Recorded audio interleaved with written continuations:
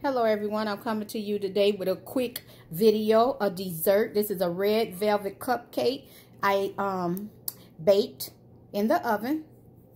And we're going to cut this cake, velvet cupcake up and make a cute little dish for any occasion.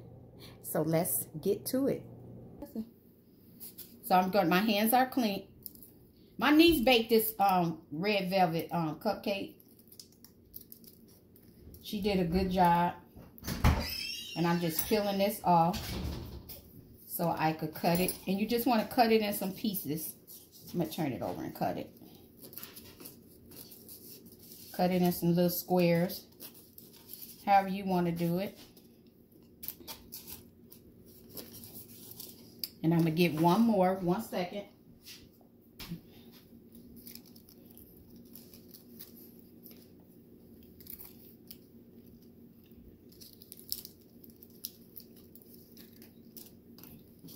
And I'm going to cut this one up in pieces.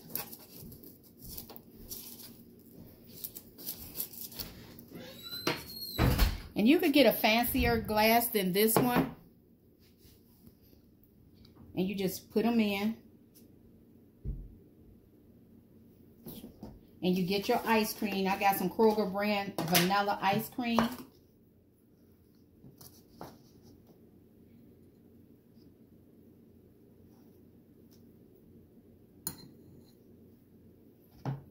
Then get your next piece.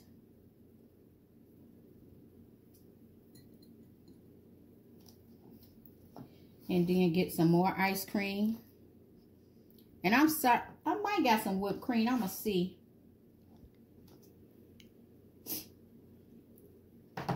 Then you get your next piece.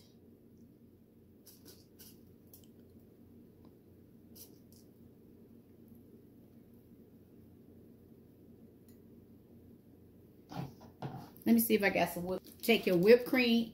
And if you don't want to use ice cream, you could use um, cream, cream cheese and put it in there. And it will take the place of the um, ice cream and get you some whipped cream.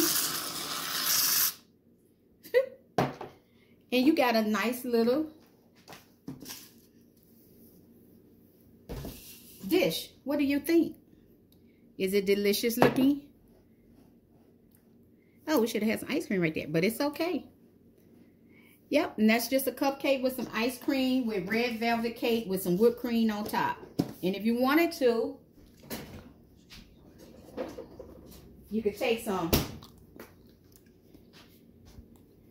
caramel flavor and squeeze a dash a little of that on top. How about that, y'all? For a nice little dessert Something you can do with the kids. And let's taste it. Y'all taste it? Focus. Yes. Mm.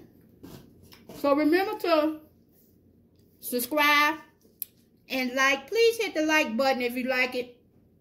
And hit the bell to be notified the next time I come on. But if you don't like it, hit the do you don't like it, it's fine with me. I'm okay. But hit the like button. Let me know how your girl doing. Everyone stay safe, stay blessed, and talk to you soon.